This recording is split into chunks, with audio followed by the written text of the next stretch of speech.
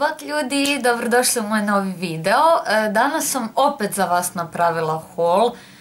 Znam, puno je tu robe, ali vidim da i vas jako vesele ovakvi videi i želite vidjeti šta sam novo dobila, šta sam kupila i nekakve moje modne savjete.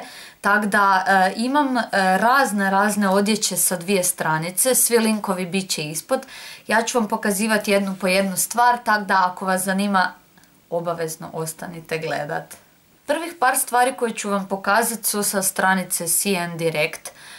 Neke od njih već ste vidjeli na mom blogu, neke ćete tek vidjeti. Uglavnom, ako sam nešto od ovih stvari uslikala, obavezno ću ostaviti link ispod. Prve na redu su ove predivne točkaste hlače. Hlače su jako širokih nogavica, kao što možete vidjeti. Najdivniji materijal ikad, toliko su udobne, toliko su stylish, toliko ih možete onak napraviti da izgledaju uh, fora i svakodnevno, možete ih isfurat za nekakav večernji izlazak, za nekakav poslovni look. Uh, ja ih obožavam, nosila sam ih i na Fashion Week i kažem, već sam ih uslikala na blogu, predivne hlače, a ja sam obsjednuta s točkicama ove jeseni, tako da vjerojatno ste to pretpostavili ako me pratite na Instagramu i na blogu. Druga stvar s te stranice je Vesta. ne znam koliko znate, ali prošle zime sam poludila za Vestama onim čupavim, dlakavim, uh, koje se zovu, kako se to kaže, mohair. Da, mohair veste. ne znam, jako su mi udobne, jako su mi fora, baš izgledaju onak zimsko, mekano, nemam pojma. I morala sam naručiti još jednu. E, naručila sam ovu vesticu ovdje, pogledajte koliko je ovo divna boja. Znači, e, cijela je čupava, ne znam koliko možete vidjeti, a boja je nekakva prljavo, rozo, puderasta, ne znam ni sama. Uglavnom, ogromna, ogromna vesta, dosta je velika, pogledajte, čak i nas mene, ali volim da su te veste onako komotne i široke, jer stvarno takve najbolje stoje, tako da ovo ću nositi definitivno. I zadnja stvar koju imamo sa stranice je ovaj novčanik ovdje. A, ne znam za vas, ali ja sam poludila za ovom bojom. Kamera toliko dobro ne prikazuje, ali ova nekakva predivna maslinasto zelena boja. ovo je kao torbica slash novčanik, baš mi je trebalo nešto novo, tako da morala sam si ovo izabrat. ovdje ima kopčicu, unutra je na cifršlus, a ovaj dio ovdje vadi se ovaj kao džepić da možete staviti kreditne kartice ili nešto unutra.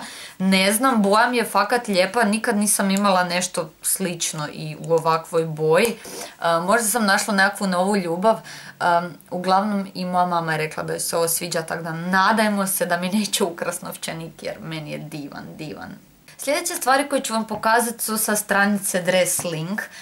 Počet ću sa najudobnijom majicom ikad, osim ove koju nosim na sebi i osim moje podle pudle, a to je ova majica ovdje, prugice, običan sweatshirt, malo je dulja, malo je komotnija, ali ovo je toliko mekano. Ne znam, ovakav tip majice stvarno se također može napraviti da izgledate fora u tome, tipa da odete van, da onak stavite malo nakita, cipele na petu, a opet može se super isfurat tipa na nekakvu trenirku, tenisice ili nemam pojma šta. Također ovu majicu sam već više puta slikala na Instagramu, tako da ću obavezno staviti link ispod, tako da možete pogledati. Sljedeća stvar sa iste stranice je nešto najljepše što sam ikad vidjela, ne znam koliko ću to nosit, koliko će pasati u moju garderobu s obzirom da nisam baš najveći fan smeđe boje, međutim ovo sam morala imati. A jaknica od brušene kože, naravno ne prave, sa resama. Ovo je fakat divno. Kad bi bar mogli gurnuti ruku kroz taj ekran i ovo probat. Ovo je toliko lijepo. Ne znam, baš sam prezadovoljna s kvalitetom na toj stranici. Stvarno jesam. Dobro, iako iako smatram da ima dosta nekvalitetnih stvari, ali s obzirom na to koliko ja puno naručujem, već stvarno mogu prepoznat e, sa slike da li će nešto biti dobre kvalitete ili ne. Uglavnom, ovo je jedna od kvalitetnijih stvari.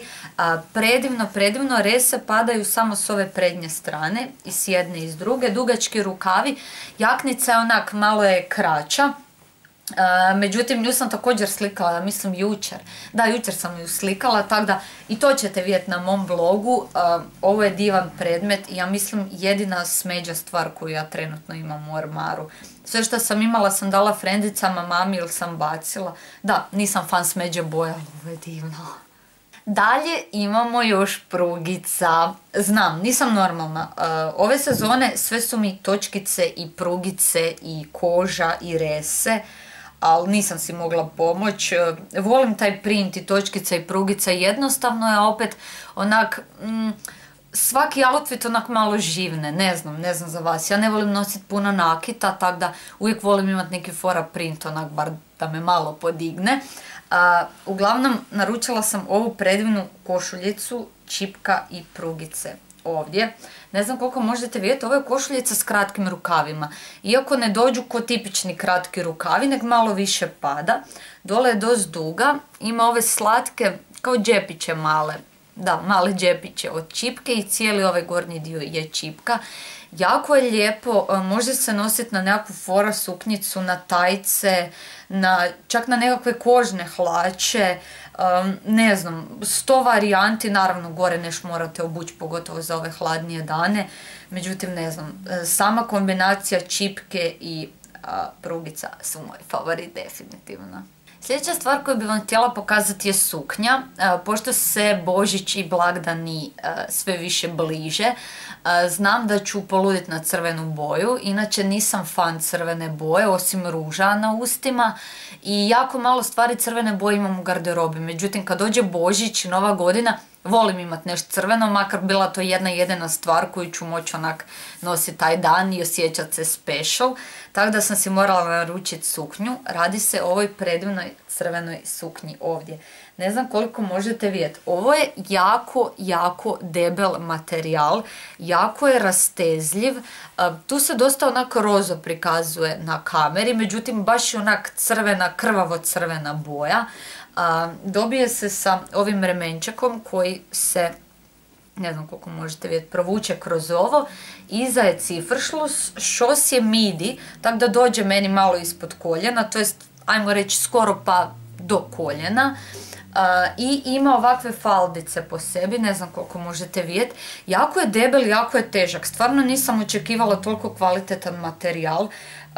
zbog same te činjenice da je dosta debel mislim da će mi biti toplo u njemu, pogotovo za vrijeme zimskih mjeseci, naravno uz nekakve grilonke, najlonke ili nešto.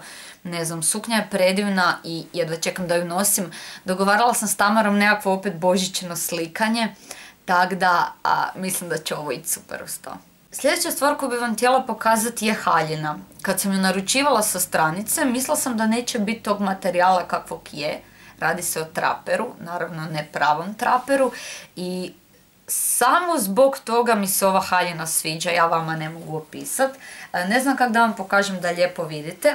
Ovo je haljina ovdje, znači preslatko nešto. Ima ove kao naramenice, dole Dole je kao obična e, suknja, malo izgužvana, oprostite, a iza ima jako, jako niska leđa, naravno ovo ne pada ovak, tu dođe guzica lijepo, i ove kao trake koje idu iza, ne znam, dosta je teško ovak pokazat, međutim već sam napravila kombinaciju kako ću je slikat, e, jako lijepo stoji, jako je uska, ovaj materijal kao taj nekakav fake traper, ne znam koliko možete vidjeti, stvarno jako lijepo zategne, jako lijepo stoji. E, sviđa mi se što nije onak klasična za klubove, za izlaske, onak malo možda čak prostačka, stvarno nije. Baš zato što je od tog nekakvog materijala onak jako je cool. Jedva čekam stvarno da to uslikam da vam pokažem. Uglavnom, definitivno ću je nosit. E, nije baš neki najdeblji materijal, ali opet kažem, ovo je haljina za zatvoren prostor, naravno nije za šetnju vani po zimi. I zadnja stvar od odjeće koju sam vam htjela pokazat, još jedan uzorak kojem ne mogu odoljet. Znači sve što je crno-bijelo, prugice, točkice i koji mi fali, koji mi fali? Houndstooth! Bam! Evo ga. Znači, ne, ne mogu odoljeti ovom uzorku, di god ga vidim, mama me s ovim zarazila. dok sam ja odrastala, moja mama imala jako puno stvari ovog uzorka ovdje i uvijek sam nju gledala kako to nosi i nekako ko da ostane u vama, tako da ostalo i meni. Ovo je jako mekan materijal, divan je, spavat ću na tom po noći. radi se o nekakvom kardiganu, ne znam kako da vam pokažem. Kardigan sa dugim rukavima, a di je rukav? Sad ne znam di je rukav. Evo ga, rukav i ima ovo da se zaveže. Znači stvarno mekan kao nekakav ko štrikani materijal elastinom. jako mi se sviđa, super stoji, naravno uparit ću ga s ovim, izglače predobro, jedva čekam da vidite i ostavit ću link od svega ovog ispod. I zadnja stvar koju vam moram pokazati nije odjeća nego je modni dodatak, a također sam naručila sa stranice Dress Link, je ovaj predivan sat ovdje. E, ne znam koliko možete vidjeti, ovo je kao rozo zlato i bijelo, bijela boja, predivno nešto. Nisam e, osoba koja voli nositi sat, međutim kao modni dodatak, onak malo mi je velik, moram priznat, morat ću ići skinuti jednu od ovih kao modni dodatak onak na nekakav outfit i na sve to mislim da jako lijepo stoji. ne znam, sviđa mi se boja, sviđa mi se što nije žuto zlato, fakat dosta mi je velik, pogledajte ovo, ali nema veze, znači predivan, predivan sat i vjerujem da ću ga nositi sigurno makar za, za uslikat. Ili ću ga čak mami pokloniti, mama ima veću ruku pa na njoj ljepše izgleda. Ljudi moji, to je bilo sve za ovaj video, nadam se da vam se sve stvari sviđaju opet ponavljam, linkovi za svaki od ovih predmeta bit će vam ispod.